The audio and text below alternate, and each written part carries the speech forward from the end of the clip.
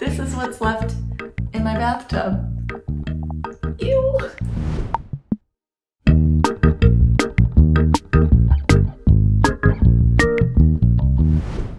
Hi, my name is Haley Sprankle and I work for Wirecutter. And yes, I'm in my bathroom, and yes, my clothes are in my bathtub.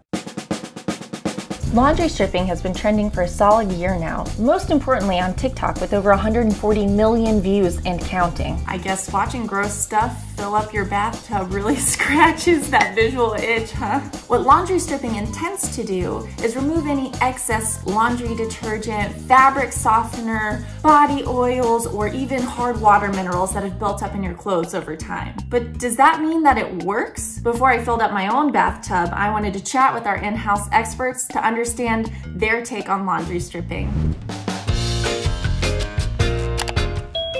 Hey. Hi, Haley. Hey everybody!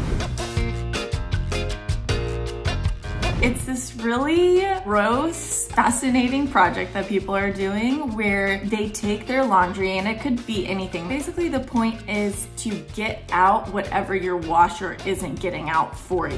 How do you strip your laundry? This process involves filling up your bathtub with enough hot water to completely cover your clothes, pouring in a mixture of half a cup of borax, half a cup of washing soda, and a small amount of laundry detergent. Then, you make sure everything is properly mixed up and let your laundry sit for four hours. Once the time is up, you want to wring out your clothes well and then run them through a normal wash and dry cycle in your washer and dryer. So Liam, I'm really trying to figure out if this is the right thing I should do for my clothes. And I figured you'd be our resident expert on that. So can you tell me a little bit about your title and what you do at Wirecutter? Yeah, I'm a senior writer at Wirecutter. I write almost entirely about appliances, but I know something about laundry, so I can try to help. I wanted to know from you, Liam, if you thought that laundry stripping was bad for your clothes. Laundry is like incredibly complex. The different fabrics react with the different ingredients and the different detergents and the additives that you use. So I think there's a possibility that it could damage certain kinds of clothes, but it's probably fine most of the time.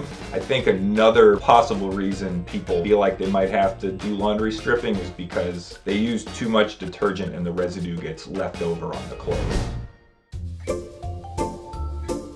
When I've talked to washing machine manufacturers, biggest dose a lot of them recommend is two tablespoons of HE detergent, high efficiency detergent. If it feels kind of crunchy or if it makes you kind of itchy or it's just like generally stiff and just doesn't feel good to wear, it's dirty because you're using too much detergent. Most of the research and like reporting I've done on it points toward that as being the culprit for a lot of like bad feeling laundry. Fabric softener, I think that's actually one of the main culprits. That is basically like adding a coating to your clothes. If there's anything that's not rinsed out completely, it's just trapped. Sarah, tell me what you do for Wirecutter. Yeah, I'm a staff writer on appliances. Do you recommend always using the least amount of detergent? Use less detergent, always. Just use two tablespoons. If you're hand washing, use a lot less. It'll go a long way. Some detergent manufacturers, they're gonna lie on the label, but remember they're selling a product and they want you to buy more of it. There's actually a really good photo in the laundry detergent guide that compares how much Kirkland tells you to use versus how much like Persil or Tide wants you to use. It's a huge difference. Not all detergents are created equal for sure, but most of them will get the job done, which public note, do not buy Tide in the yellow bottle. This laundry stripping, do you think that it would be beneficial? I'd say go for it if you're gonna have fun with it. I have a feeling you're not gonna notice like your towels being softer. You're just gonna note how disgusting you are, which is fine, because we all are.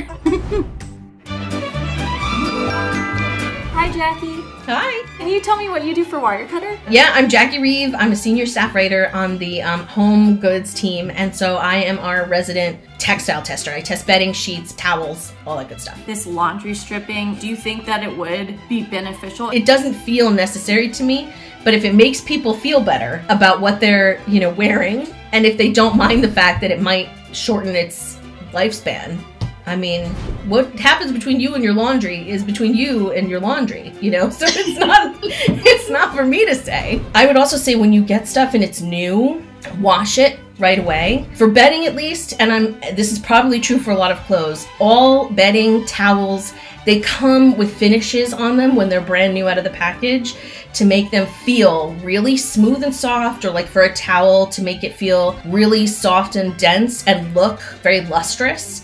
And so if you wash those things when they're new rather than using them right away, you know, if you have finishes on something and then you put those sheets on your bed and sleep on them, you're adding your skin cells and any oils on top of these finishes and conditioners that are already in these products it's just like an extra layer of buildup that over time, you know, if it doesn't get addressed right away, it could add up. Maybe I didn't really see a difference in my clothes after laundry stripping. Just regular detergent and warm or cold water should get your clothes clean just fine. But if you want to add laundry stripping to your routine, that's a-okay too. All of our experts seem to think that if it's making you feel more comfortable in your clothes, go for it. Laundry is personal. What you wear and how you feel in your clothes is very important to you. If it works for you, then it works for you.